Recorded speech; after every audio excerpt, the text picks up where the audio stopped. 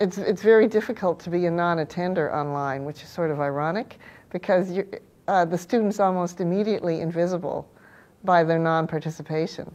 Whereas in a large class, a student can miss several lectures and just not be missed. Well, I think the benefit of online learning is in part the asynchronous nature of it. So the fact that students can go back and revisit um, maybe material that we've covered and they have an opportunity an opportunity to hear it a second time. One of the main benefits of an online course is that the materials can be reviewed by the students anytime, anywhere, and possibly any number of times. I have received feedback from students saying how much they appreciate that they can go through the materials at their own pace, unlike where they have to go along with everybody in a regular classroom. Another important benefit of moving to an online space is the flexibility that it provides, both for the instructors and for the students. The flexibility not only in terms of geography and the location where they can participate and complete activities that are part of their, their overall course process, but also uh, any pace, so any place, any pace as well, that students can proceed at the the pace that's appropriate to them, their previous knowledge, either uh, more slowly or perhaps more quickly. We know right now that uh, learners learn best in environments where they have a measure of control, where learning is central to them. And in online learning, we've been able to design courses um, with that kind of methodology in mind, that kind of uh, pedagogical approach.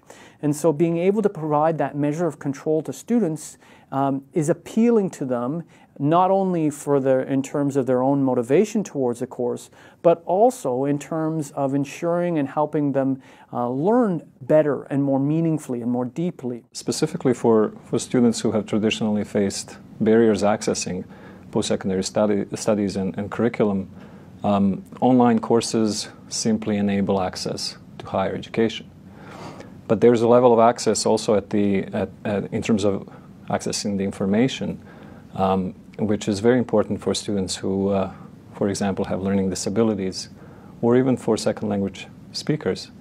Online courses allow the, the use of, of assistive technology or other technological tools to aid uh, um, understanding, comprehension, and expression of, of, of learning. Nowadays, they're looking for the information that they need on a screen, and that could be on their cell phone, their iPad, their computer screen, or even their television.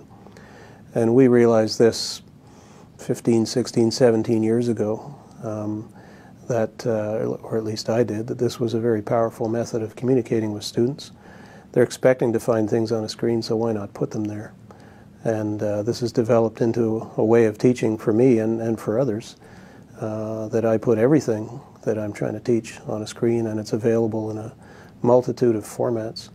So I think that's of great benefit to the students because this is uh, how they've been brought up almost from birth that uh, they find information on a screen. The benefits for students are clear as well. They're used to interacting and accessing things online, so they're very comfortable with it.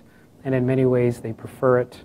They can, um, they can learn at their own pace. They can review or, or, or, or, study using your materials much easier. Well, I also find with this generation, even though they're, they're tech, they, they appear to be tech savvy with their social networking tools, using those in the service of their learning I find somewhat impoverished. So actually helping them see a social networking tool as a means to, to learn um, I think that can be liberating. For some of them, it's just damn frustrating because now um, it's no longer diversionary, it's learning. The student has to take a certain level of responsibility, as a matter of fact, a huge level of responsibility in terms of facilitating their own learning.